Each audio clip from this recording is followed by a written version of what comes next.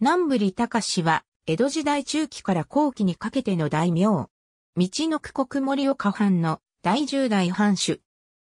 家には14位下、自重。天明2年9月29日、第9代藩主、南部利政の次男として誕生した。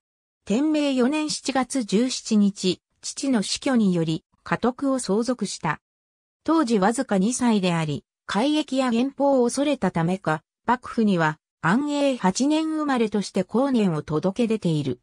完成7年2月15日、11代将軍、徳川家成におまみする。同年4月13日、初めてお国入りするために暇を恋許される。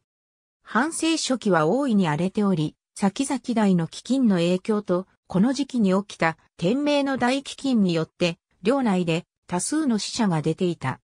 完成8年12月19日、15位下、大前大部に叙任する。文化元年12月18日、14位下に昇進する。文化5年12月18日、自重に任官する。また、蝦夷敬語の功績により、森岡藩は10万国から20万国に昇格した。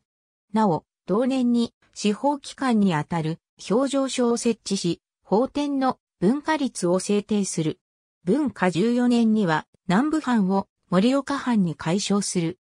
文政元年に重臣の八戸屋六郎、中野筑後、北九兵衛、南彦八郎、東影湯に南部姓を称するのを許可し、同2年には一族で旗本より愛席の南部新隣に内文公を与えて大名にし、七子藩として立藩させる。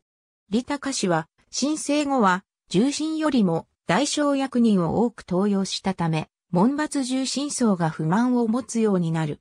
文政3年に死去した。